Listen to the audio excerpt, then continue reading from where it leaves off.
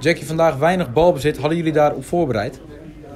Nee, we hadden daar niet op voorbereid. Uh, we zijn ook gekomen om ook aan te vallen, om gewoon uh, onze spel te spelen.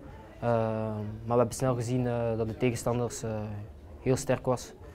Vandaag ze zijn sterk aan de wedstrijd begonnen, dus ja, het was een hele moeilijke wedstrijd vandaag.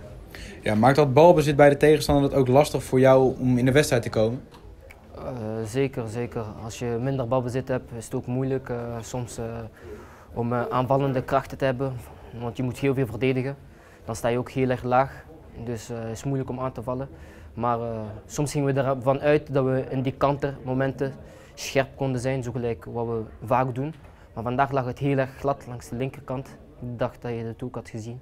Je glijdt daar helemaal uit, je kon daar niet op voetballen langs die kant. Dus uh, de eerste helft was heel erg moeilijk voor ons. Veld was inderdaad niet goed aan die kant. Dat belemmert jou dan ook in je spel? Klopt, klopt, klopt volledig. Het was heel erg moeilijk voor mij en Conte in de eerste helft. Ja. Ja, zoals je zelf ook al zegt, aanvallende impulsen waren er niet echt. Dus ook geen goals. Wie of wat miste jij? Uh, ja, vandaag misten we wel uh, een beetje een spits, een speelpunt met de lange ballen dat we konden winnen. Uh, Stijn is ook heel erg belangrijk speler voor ons. dus ja, ik denk met name een goede, een goede spits. Ook iedereen eigenlijk een beetje. We zijn een groep. We kunnen ook geen excuus hebben als we, dat we iemand missen, maar vandaag was het eh, een beetje een moeilijke wedstrijd. Dus de tegenstander was goed.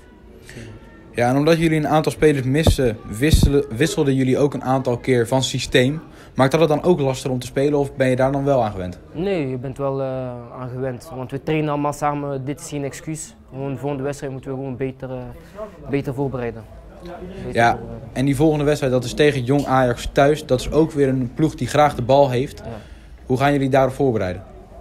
ja, uh, volle concentratie, zo snel mogelijk deze wedstrijd vergeten.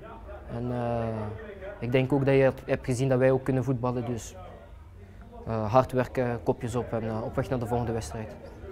Top, bedankt.